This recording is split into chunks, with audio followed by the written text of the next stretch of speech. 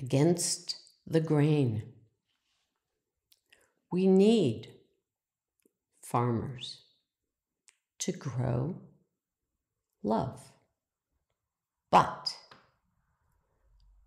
don't lose yourself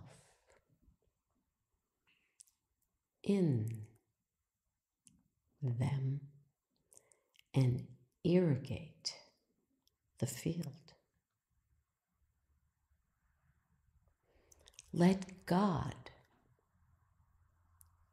irrigate love and leave farmers alone.